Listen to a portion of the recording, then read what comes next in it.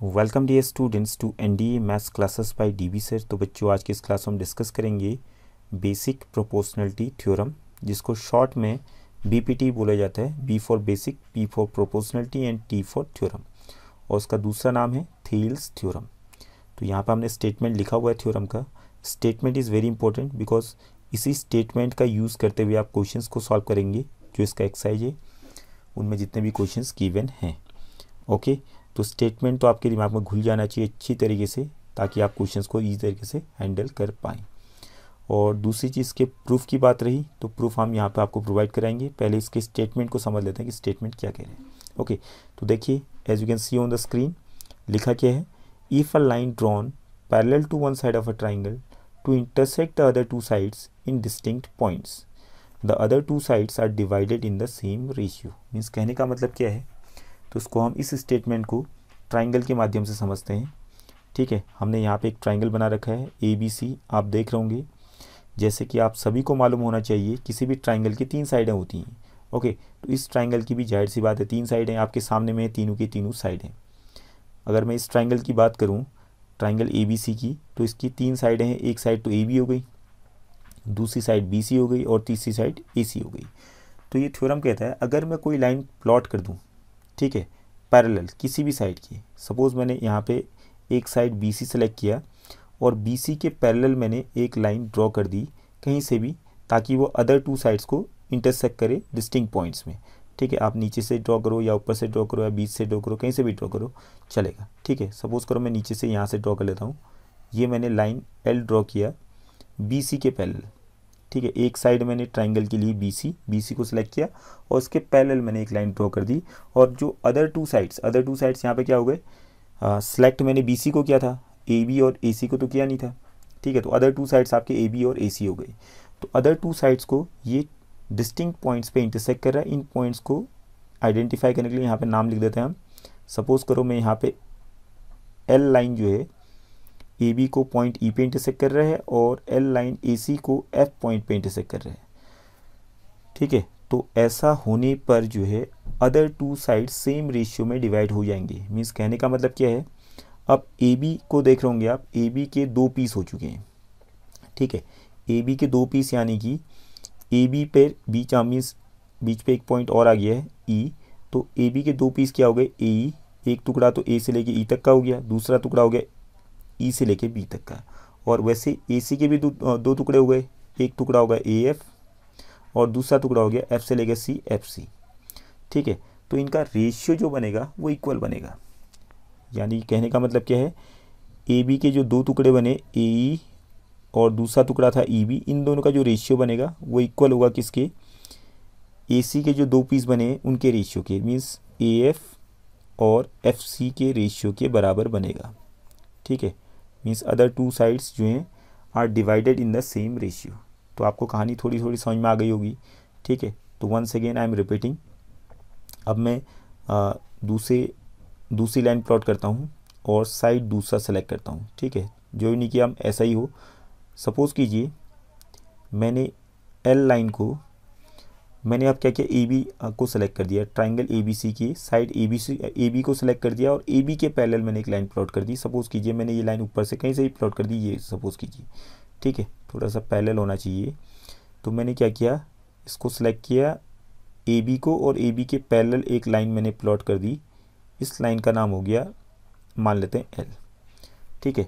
अब ये जो एल लाइन है ए बी के पैरेलल है। अदर टू साइड्स यहाँ पर हो गए ए सी और बी सी और ए सी और बी सी को दो डिस्टिंक्ट पॉइंट्स पे ये इंटरसेक्ट कर रहा है एल लाइन इसको पॉइंट पी मान लेता हूँ।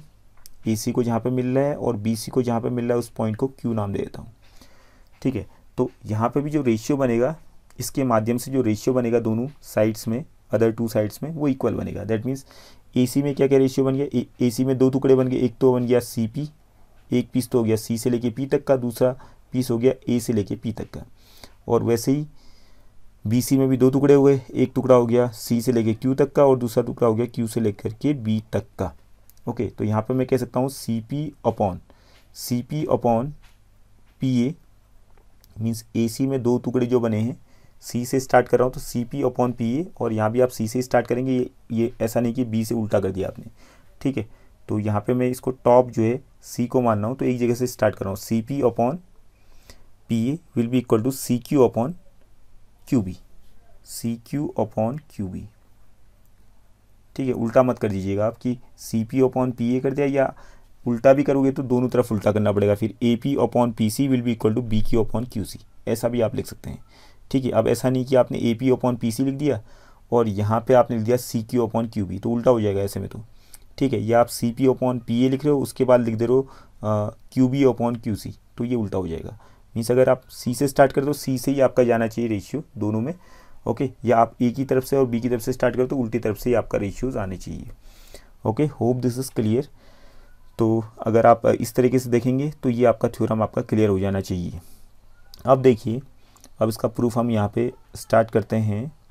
तो हम इसको थोड़ा सा इजी बनाने के लिए पहले वाले फिगर में आ जाते हैं जो हमने स्टार्टिंग में किया था। तो स्टार्टिंग में क्या किया था हमने? एक लाइन प्लॉट की थी बी के पैरेलल ठीक है तो बी सी के पैरेलल फिर से मैंने एक लाइन प्लॉट कर दी। ये लाइन जो है बी सी के पैरेलल है और ये ए बी और ए सी को मान लेते हैं एम और एन पॉइंट पे इंटरसेक्ट कर रहे हैं। ठीक है? ओके और हमने क्या प्रूव करना है? ये सारी चीज़ें आपको मालूम हो गई अब कि A M upon M B will be equal to A N upon N C तो यहाँ पे गिवन क्या था?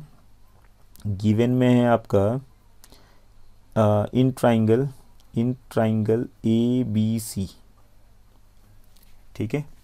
In triangle A B C a line a line sorry दो बार लिख दिया a line L is drawn parallel to parallel to किसके पैरेलल ड्रॉ किया हमने एल लाइन को? बी सी के पैरेलल ड्रॉ किया। Which intersects which intersects A B at M A B को एम पे इंटरसेक्ट कर रहा है and A C at P sorry N A C को एन पॉइंट पे इंटरसेक्ट कर रहा है। ठीक है, और प्रूफ क्या करना है? ये भी लिख देते हैं टू प्रूफ तो प्रूफ क्या करना है हमने?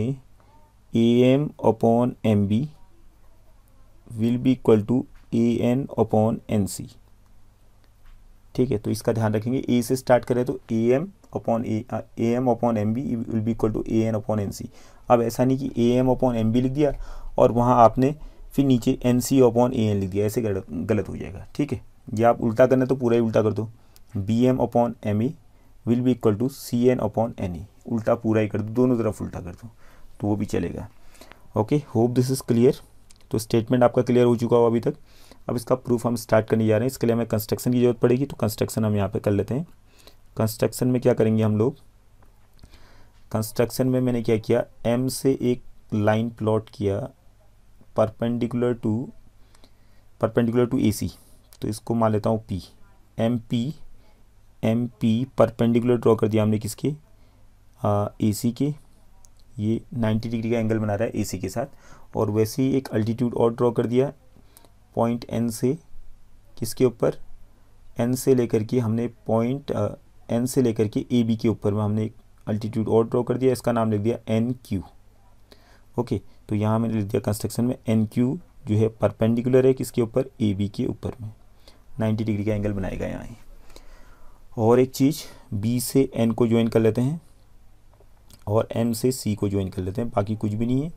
बाकी एरिया वाला आपको मालूम होना चाहिए एरिया ऑफ़ ट्राइंगल तो थोड़ा सा इसको रिपीट कर लेते हैं, बाकी थ्योरम सिंपल सा आपका।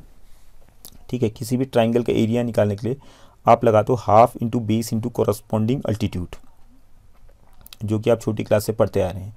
ठीक है, ये तो ठीक है। सपोज़ कीजिए, अगर मैंने किसी ट्राइंगल की एरिया निकालनी है, ये ट्राइंगल आपके पास ए बी सी ये ट्राइंगल है, इसकी एरिया आपको चाहिए। तो आप इसमें बेस किसको मानेंगे? ठीक है तो बेस मानने के लिए यहाँ पे आप जो नहीं कि बी को भी बेस माने। आप ए बी को भी बेस मान सकते हैं या ए सी को भी बेस मान सकते हैं। बट हमें कॉरस्पॉन्डिंग अल्टीट्यूड उसका मालूम होना चाहिए। अगर मैं बी सी को बेस मानता हूँ तो इसके लिए कॉरस्पॉन्डिंग अल्टीट्यूड का होना ज़रूरी है। सपोज़ करो ये आपका इसका कॉरस्पॉन्डिंग अल्टीट्यूड हो गया ए एम तो इस ट्राइंगल की एरिया हो जाएगी हाफ़ इंटू बेस मैंने बी सी को माना तो इसका कॉरस्पॉन्डिंग अल्टीट्यूड भी मुझे मालूम है। यहाँ पे ए एम है तो इसके एरिया में half into base into corresponding altitude से निकाल सकता हूँ। ठीक है, अगर मैं ऐसा होता है, फिर से ट्राइंगल मैंने यही बनाया ए बी सी ठीक है, अगर मैं ए बी को बेस मानता हूँ और इसका एरिया निकालना चाहता हूँ ए बी के कॉरस्पॉन्डिंग मुझे अल्टीट्यूड मालूम होना चाहिए। ठीक है तो इसका अल्टीट्यूड सी से आएगा। तो सी से जो कट अल्टीट्यूड आएगा, मान लिया सी एन है तो इसका एरिया हो जाएगा हाफ़ इंटू बेस अब ए बी मान लिया था हमने और इसका जो करस्पॉन्डिंग अल्टीट्यूड हो गया सी एन हो गया। तो इस तरीके से भी इसकी एरिया निकल जाएगी।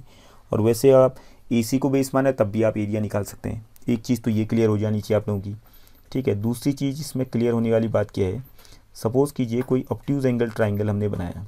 ठीक है तो इसमें थोड़ा समझना आप लोगों ने। सपोज़ कीजिए मैंने कोई ऑप्ट्यूज एंगल ट्राइंगल बनाया, ये ऑप्ट्यूज एंगल ट्राइंगल हो गया। ठीक है, अब इसकी एरिया निकालना चाहता हूँ मैं और बेस मानना चाहता हूँ इसको बीसी को। ठीक है, अगर मैं BC को बेस मानना चाहता हूँ बी के कॉरस्पॉन्डिंग मुझे अल्टीट्यूड चाहिए होगा। अब अगर आप देखें यहाँ पे बी के कॉरस्पॉन्डिंग अगर मैं अल्टीट्यूड निकालना चाहूँ तो इसका जो अल्टीट्यूड आएगा, BC के ऊपर तो आएगा नहीं। ठीक है ए से जब मैं इसका अल्टीट्यूड ड्रॉ करूँगा तो ये कहीं BC को आगे जब प्रोड्यूस करूँगा BC को आगे को बढ़ाऊँगा, यहाँ को बी की तरफ़ को तो यहाँ ए से जब यहाँ से प्लॉट करूँगा, तब जाके इसका अल्टीट्यूड यहाँ गिरेगा, मान लेते ए एम ठीक है तो ए एम जो है परपेंडिकुलर है यहाँ बी सी के ऊपर लेकिन बी सी के ऊपर नहीं पड़ा, वो बी सी के बाहर कहीं बी सी को जब उन्होंने प्रोड्यूस किया, तब जाके उसके ऊपर आया है। ठीक है तो इस चीज़ को आपने समझना है तो इस ट्राइंगल की भी एरिया हम निकाल सकते हैं, और बेस इसमें बी सी को ही हमने माना है तो इसकी एरिया क्या हो जाएगी? हाफ़ इंटू बेस हो गया इसका बी सी और इसका जो करस्पॉन्डिंग अल्टीट्यूड होगा, वो हो जाएगा बी सी का करस्पॉन्डिंग अल्टीट्यूड ए एम ठीक है तो इस फॉर्मूले से हम इसकी एरिया निकाल सकते हैं। ठीक है होप दिस इज़ क्लियर तो इतना अगर आपको मालूम है तो बाकी कुछ भी नहीं है और एक थ्योरम आपका क्लास नाइन का लगेगा। जब हम आए को चल के इसको सॉल्व करेंगे, तब उसको समझाएँगे। ठीक है, फ़िलहाल इतना समझ लीजिए आप लोग। अब देखते हैं हम इसका प्रूफ ठीक है तो प्रूफ आप ध्यान देंगे स्टार्टिंग से। तो सबसे पहले हम क्या करते हैं? सबसे पहले हम निकालते हैं area of triangle A M N तो फिगर को देखिए ए एम एन आपको ट्राइंगल दिख ही रहा होगा। Area of triangle A M N इसका एरिया निकालने के लिए फॉर्मूला हमने लगा दिया। हम इसमें बेस किसको मानेंगे पहले? ए एम को। ठीक है तो यहाँ पे ध्यान दीजिएगा आप। ट्राइंगल ए एम एन में मैं बेस किसको मान रहा हूँ? ए एम को। ए एम को क्यों बेस मान रहा हूँ? इसका रीजन है, क्योंकि मुझे प्रूव करना है A M upon M B और जो दूसरा ट्राइंगल लूँगा, उसको मैं बेस में एम बी को मानूँगा। ठीक है? और इस वाले ट्राइंगल में बेस किसको मानूँगा? ए एम को। तो ए एम को बेस मानने के लिए, अगर मैं ए एम को बेस मानता हूँ तो इसका एरिया आ जाएगा half into base A M हो गया। तो ए एम का कॉरस्पॉन्डिंग अल्टीट्यूड यहाँ बनाइए। एन क्यू या क्यू एन बोलो या एन क्यू बोलो बातें की है तो आप एन क्यू देखिए। इसके ऊपर जो है परपेंडिकुलर है अल्टीट्यूड है ए एम का। ठीक है? तो इसका हमने लिख दिया N Q half into base into height okay? वैसे फिर मैंने एरिया निकाला। इसके नीचे वाले ट्राइंगल उसको मैं शेड कर रहा हूँ डार्क कर रहा हूँ ग्रीन कलर से आप देख रहे होंगे। In triangle in triangle M N B M N B triangle देखिए जो मैंने पूरा ही ग्रीन सेट कर दिया है ये। ठीक है? Area of triangle M N B M N B area का जो ट्राइंगल है sorry M N B triangle की जो एरिया है, वो आ जाएगी हाफ़ इंटू इसमें बेस किसको मानूँगा? अभी मैंने कहा था कि इसमें एम बी को बेस मानूँगा, क्योंकि प्रूफ करने पे जो हमें प्रूफ करना है, उसके अकॉर्डिंग हम चलेंगे। ठीक है तो एम बी को मैंने बेस माना इस ट्राइंगल में। और एम बी की जो कॉरस्पॉन्डिंग अल्टीट्यूड पड़ेगा एम बी के ऊपर तो नहीं पड़ रहा लेकिन एम बी को आगे प्रोड्यूस कर करके देखिए एम की तरफ़ को प्रोड्यूस किया, आगे जाके एन क्यू जो है इसके ऊपर अल्टीट्यूड पड़ा हुआ है। तो अगर आप ध्यान से देखेंगे, जैसे मैंने ऑप्टिव एंगल ट्राइंगल की बात करी थी तो वही चीज़ के लिए लागू हो रही है। तो इसका जो अल्टीट्यूड पड़ रहा है एम बी के ऊपर आगे चल कर पड़ रहा है, जब इसको प्रोड्यूस करेंगे तो इसका अल्टीट्यूड भी क्या है एन क्यू ई है। ओके अब इन दोनों को डिवाइड कर लीजिए आप। Area of A M N upon area of M N B M N B ठीक है? इन दोनों का डिवाइड करेंगे तो डिवाइड करने पे सीधे कैंसिल कर दो। हाफ़ से हाफ़ कैंसिल हो जाएगा। देखिए, जो इक्वेशन हमने बना रखी है area of A M N हमने लिखा ही है half into A M into N Q और area of M N B half into M B into N Q जब इन दोनों को डिवाइड करूँगा अपॉन में लिखूँगा तो हाफ़ से हाफ़ कैंसिल हो जाएगा और एन क्यू से एन क्यू भी कैंसिल हो जाएगा। ठीक है कैंसिल होने के बाद बचेगा कौन? केवल ए एम और एम बी बच जाएगा इस टाइप से। इसको मैं इक्वेशन वन मान लेता हूँ। ठीक है, इसी टाइप से आप दूसरी तरफ़ आइए। फिर से आपने क्या करना है? Area of triangle A M N दोबारा निकालना है। जैसे हमने स्टार्टिंग में लिखा था area of A M N फिर से मैंने निकाला area of A M N ठीक है area of A M N के लिए अब मैंने क्या किया? बेस खिसका दिया बेस मान लिया ए एन ठीक है ए एन को बेस मानूँगा अब मैं। ट्राइंगल ए एम एन में एरिया निकालने के लिए बेस किसको मानूँगा? ए एन को, क्योंकि मुझे प्रूव करना है A N upon N C तो और दूसरा जो ट्राइंगल लूँगा, उसमें मैं एन सी को बेस मानूँगा, ठीक है? तो हाफ़ इंटू बेस मैंने क्या माना? ट्राइंगल ए एम एन में अब ए एन मान लिया है। अगर ए एन को बेस मानूँगा तो इसका कॉरस्पॉन्डिंग अल्टीट्यूड क्या हो जाएगा? एम पी ठीक है? कॉरस्पॉन्डिंग अल्टीट्यूड हो जाएगा एम पी जैसे कि आप फिगर में देख रहे होंगे। एम पी ओके फिर मैंने क्या किया? अभी रेड वाला जो ट्राइंगल इसको मैंने सेट कर दिया। नीचे में आप देख रहे होंगे, पूरा ही रेड कर दिया मैंने। रेड कर रहा हूँ अभी, ठीक है? तो ये रेड से जो सेडेड ट्राइंगल है एम एन सी अब इसका area निकालूँगा। Area of triangle M N C will be equal to इसको दोबारा लिख देता हूँ, साफ़ नहीं दिख रहा होगा। ट्राइंगल एम एन सी की जो एरिया है, वो हो जाएगी हाफ़ इंटू इसमें बेस किसको मानूँगा? एन सी को। तो एन सी को बेस माना तो इसका करस्पॉन्डिंग एल्टीट्यूड इसके बाहर गिर रहा है, ठीक है? एन सी को आगे प्रोड्यूस करने पे, ठीक है? एम पी इसके ऊपर अल्टीट्यूड आ रहा है तो इसका कॉरस्पॉन्डिंग अल्टीट्यूड एम पी होगा। अब फिर से इन दोनों को मैंने फिर से डिवाइड किया, ठीक है? जैसे मैंने फ़र्स्ट और सेकेंड को डिवाइड किया था, वैसे ही अब ये आपका थर्ड और फोर्थ इन दोनों को डिवाइड कर देता हूँ, ठीक है? तो इन दोनों को जैसे ही डिवाइड करूँगा मैं तो क्या आ जाएगा आपके सामने में result area of A M N A M N upon area of area of M N C will भी इक्वल टू यहाँ भी हाफ़ से हाफ़ कट जाएगा एम पी से एम पी कट जाएगा तो क्या बचेगा? A N upon N C ठीक है, ये हो गया इक्वेशन सेकेंड ओके और एक इक्वेशन बनाते हैं। अब इक्वेशन और एरिया की ज़रूरत नहीं हमें। ठीक है, केवल हमें जाना है क्लास नाइन्थ में। क्लास नाइन्थ में आप जैसे आपने पढ़ा होगा, अगर दो ट्राइंगल सेम पैरेलल लाइंस के बीच में उनका बेस सेम हो तो उनका एरिया इक्वल होता है। तो यहाँ पर आप देख होंगे triangle M N B triangle M N B को देखिए फिगर में। ट्राइंगल एम एन बी और ट्राइंगल एम एन सी दोनों ट्राइंगल सेम पैरेलल लाइंस के बीच में है। एल और बी सी के बी सी के या एम एन और बी सी के पैरेलल में है। ठीक है मीन्स इन दो पैरेलल लाइंस के बीच में है ये दोनों ट्राइंगल और दोनों का बेस सेम है एम एन इनका बेस है। एम एन से ट्राइंगल बन रहा है एम एन बी और एम एन से ट्राइंगल बन रहा है एम एन सी और दोनों ट्राइंगल सेम पैरेलल लाइंस के बीच में है एम एन और बी सी के बीच में। ओके तो दोनों की एरिया इक्वल होगी तो हम क्या कह सकते हैं? As we know that as we know that ठीक है as we know that triangles on the same base, on the same base, and between को शॉर्ट में लिख दिया between the same parallels same parallel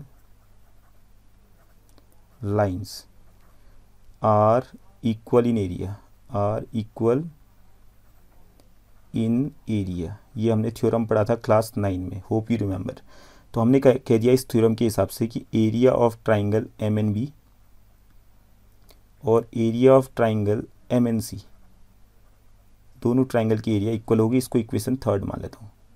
ठीक है अब केवल आपने इक्वेशंस को ध्यान देना है। इक्वेशन फ़र्स्ट सेकेंड और थर्ड में ध्यान दीजिए। ठीक है इक्वेशन फ़र्स्ट में देखिए। इक्वेशन फ़र्स्ट के लेफ़्ट हैंड साइड को देखिए पहले तो इसको मैं दूसरे कलर का यूज़ करता हूँ रेड कलर का यूज़ कर लेता हूँ ठीक है।